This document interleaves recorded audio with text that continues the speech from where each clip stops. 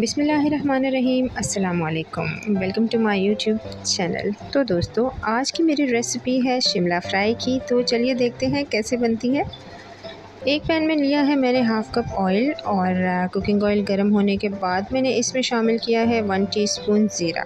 तो ज़ीरा को हमने कर लिया है फ्राई और अब हम इसमें शामिल करेंगे एक लार्ज प्याज जो कि चॉप कर ली गई है। और इसे करेंगे हम लाइट पिंक और सोटे।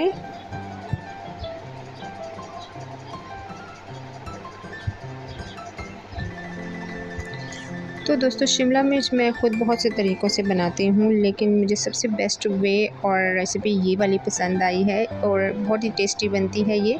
तो आप भी ज़रूर रेसिपी को ट्राई कीजिएगा। तो स्टेप बाय स्टेप आपने फॉलो करना है ओके चलिए जी, यहाँ पे मैंने ले लिया है एक लार्ज साइज़ का आलू और जिसे मैंने छोटे छोटे पीसेस में कट कर लिया है और साथ ही लहसुन अदरक का पेस्ट शामिल कर दिया है। तो फ्राई कर लेते हैं इनको। आलू हमारे हो चुके हैं फ्राई। माशाल्लाह से बहुत ही प्यारा सा कलर आ चुका है इन पे अब हम इसमें शामिल करेंगे दो मीडियम साइज़ के टमाटर, जो कि मैंने इस तरह से कट कर लिए हैं और मिक्स कर लेते हैं इनको।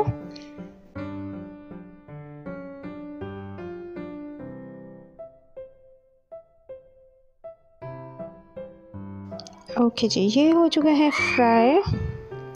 अब हम इसमें शामिल करते हैं जनाब कुटी हुई लाल मिर्च, हल्दी शामिल कर दिया मैंने हाफ़ टी स्पून और खुश्क धनिया शामिल किया है। प्लस मैंने यहाँ पे पिसा हुआ ज़ीरा और ये भुना हुआ ज़ीरा है तो मैंने शामिल कर दिया है। तो मिक्स कर लेते हैं। और अब हम इसमें शामिल करेंगे नमक हसब ज़रूरत, या हसबे ज़ायका। तो मिक्स कर लेंगे इसको।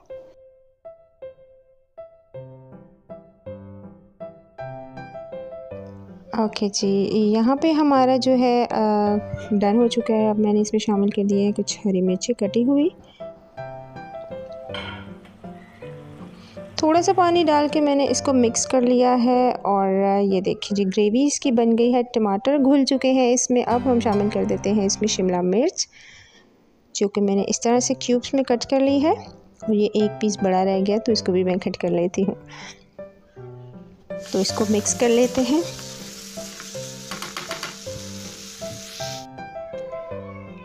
भून लिया है मैंने इस सारी सब्ज़ी को।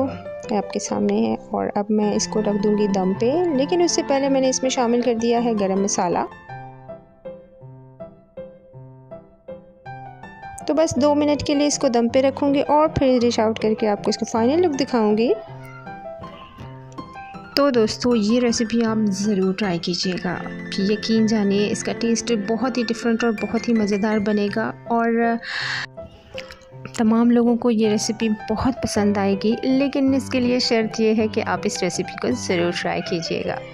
तो अब मैं गार्निशिंग के लिए इसके ऊपर थोड़ा सा हरा धनिया चॉप किया हुआ स्प्रिंकल कर दूँगी। तो हरी मिर्चें और हरा धनिया जो होता है लास्ट में, मैं ये कहती हूँ कि खाने का मेकअप होता है, जो फाइनल टच दिया जाता है तो इसके बाद जो है बिल्कुल डन हो जाता है। और डिश आउट कर दिया है मैंने। तो ये देखिए, इसकी फ़ाइनल लुक माशाल्लाह से जितना ये लुक में नज़र आ रहा है, उसी तरह से ये अपने टेस्ट में भी है। तो ज़रूर ट्राई कीजिएगा रेसिपी को, और पसंद आए तो लाइक शेयर कीजिएगा और कमेंट बॉक्स में ज़रूर बताइएगा। प्लस चैनल को कर लीजिएगा सब्सक्राइब और बेल आइकन को प्रेस करना मत भूलिएगा। तो मिलते हैं किसी और रेसिपी के साथ, तब तक के लिए अल्लाह हाफिज़।